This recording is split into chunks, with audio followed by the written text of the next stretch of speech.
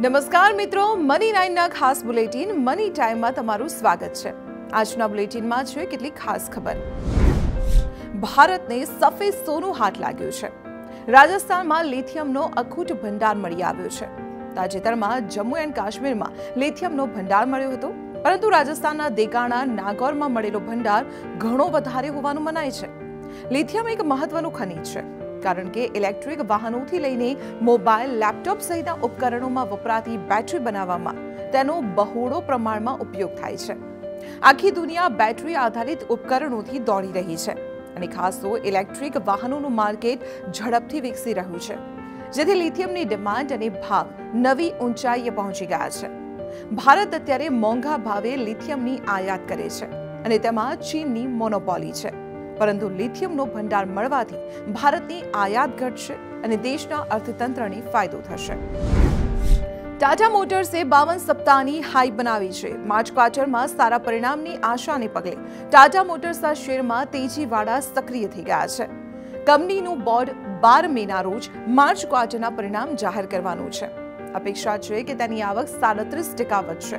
આ અપેક્ષાને પગલે આઠમી મેના રોજ ટાટા મોટર્સનો શેર ચાર પોઈન્ટ બાણું ટકા વધીને રૂપિયા પાંચસો પોઈન્ટ પંચાવને બંધ રહ્યો અને અઢાર પોઈન્ટ ચૌદ લાખ શેર્સમાં સોદા પડ્યા.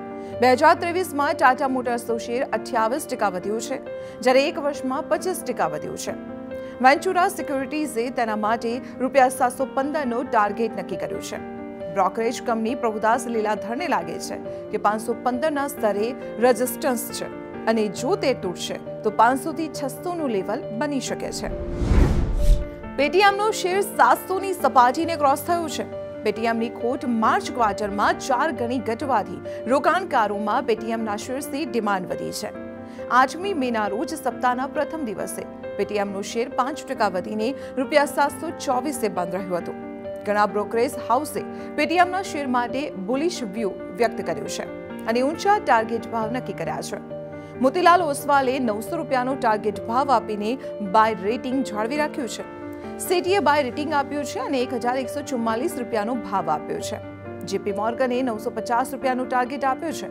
કંપનીએ માર્ચ ક્વાર્ટરમાં સારું પરફોર્મન્સ નોંધાવ્યું છે. તેનું બિઝનેસ વધી રહ્યું છે અને કંપનીને વિશાળ ગ્રાહક વર્ગનો ફાયદો પણ મળી રહ્યો છે. મેકવાયરે આઠસો રૂપિયાનો ટાર્ગેટ આપ્યો છે. આ ખબર સાંભળીને વીમા ધારકોની ચિંતા વધશે. વીમા કંપનીઓનો ખર્ચ વધી જવાથી આગામી સપ્તાહમાં વીમાનું પ્રીમિયમ દસ ટકા વધવાનો અંદાજ છે. વૈશ્વિક સ્તરે રીઇન્સ્યોરન્સ કંપનીઓએ ભાવમાં ચાલીસ ટકાથી સાહીઠ ટકાનો વધારો કર્યો છે, જેના કારણે વીમો વેચતી કંપનીઓનો ખર્ચ વધી ગયો છે. આ કંપનીઓ ખર્ચનો બોજ ગ્રાહકો પર પસાર કરશે અને મોટર ઇન્સ્યોરન્સ પ્રોપર્ટી ઇન્સ્યોરન્સ જેવા ઇન્સ્યોરન્સના પ્રીમિયમમાં દસ ટકાનો વધારો કરશે.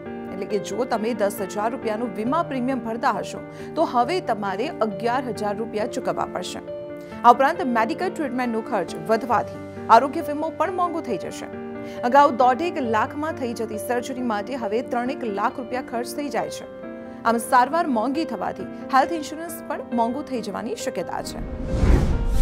ખાનગી ધિરાણ કરતા એચડીએફસી બેંકે માર્જિનલ કોસ્ટ આધારિત લેન્ડિંગ રેટ એટલે કે એમસીએલઆર વધારી દીધા છે. અન્ય બેંકો એમસીએલઆર યથાવત રાખી રહી છે. ત્યારે એચડીએફસી બેંકે તેમાં પોઈન્ટ પંદર ટકાનો વધારો કર્યો છે. તેના નવા દર આઠ મેથી લાગુ થઈ ગયા છે. એચડીએફસી બેંકની વેબસાઇટ અનુસાર ઓવરનાઇટ એમસીએલઆર હવે સાત પોઈન્ટ એંશી ટકાથી વધીને સાત પોઈન્ટ પંચાણું ટકા થઈ ગયું છે. સૌથી મહત્વનો વન યર એમસીએલઆર આઠ પોઈન્ટ પંચાણું ટકાથી વધીને નવ પોઈન્ટ શૂન્ય પાંચ ટકા થઈ ગયું છે. બેંકની મોટાભાગની કન્ઝ્યુમર લોન આ વન યર એમસીએલઆર સાથે જોડાયેલી છે. એટલે જુઓ તમે એચડીએફસી બેંક પાસેથી પર્સનલ લોન ઓટો લોન કે અન્ય કોઈ રિટેલ લોન લીધી હશે. તો હવે તમારે વધારે વ્યાજદર ચૂકવવો પડશે. રોકાણકારોએ એપ્રિલ મહિનામાં બોમ્બે સ્ટોક એક્સચેન્જ સમક્ષ કેટલીક કંપનીઓ સામે ફરિયાદ નોંધાવી છે. રોકાણકારોએ સૌથી વધુ ફરિયાદ Gujarat Narmada valley fertilizers Rane computers consultancy અને જે કે ફાર્મા કેમ્પ સામે નોંધાવી છે. પૈસા પાછા ન મળવાથી શેર્સ અને ડિપેન્ચર ન મળવાથી તેમજ દેવું વધતું હોવાનું કારણ આપીને રોકાણકારોએ આ ફરિયાદો નોંધાવી છે. બોમ્બે સ્ટોક એક્સચેન્જને એપ્રિલમાં આવી એકસો ચોર્યાસી કંપની સામે કુલ ચારસો એક ફરિયાદ મળી છે. ટોયોટાની ગાડીઓ મોંઘી થઈ ગઈ છે. ટોયોટા કિલોસ્કર મોટરે તેની ગાડીઓના ભાવ છ સપ્તાહમાં બીજી વખત વધાર્યા છે. કંપનીએ કિંમતમાં સાહીઠ હજાર રૂપિયા સુધીનો ભાવ વધારો લાગુ કર્યો છે. ટોયોટાએ આ વખતે ઇનોવા ક્રિસ્ટા, અર્બન ક્રુઝર, ક્રેમી અને ગ્લેન્સાની કિંમતમાં વધારો કર્યો છે. તાજેતરમાં ટાટા મોટર્સે પણ એન્ટ્રી લેવલની ટિયાગો અને ટીગોના ભાવમાં પણ વધારો કર્યો હતો. કાચો માલ મોંઘો થવાથી કાર કંપનીઓ કિંમત વધારી રહી છે. પ્રદૂષણનું દૂષણ દૂર કરવાની ગતિવિધિ તેજ થઈ ગઈ છે. સરકાર ડીઝલથી દોડતી ગાડીઓ પર પ્રતિબંધ મૂકે તેવી શક્યતા છે. શક્યતા છે કે બે હજાર સત્યાવીસ સુધીમાં મોટા શહેરોમાં ડીઝલથી દોડતી ગાડીઓ બંધ થઈ જશે.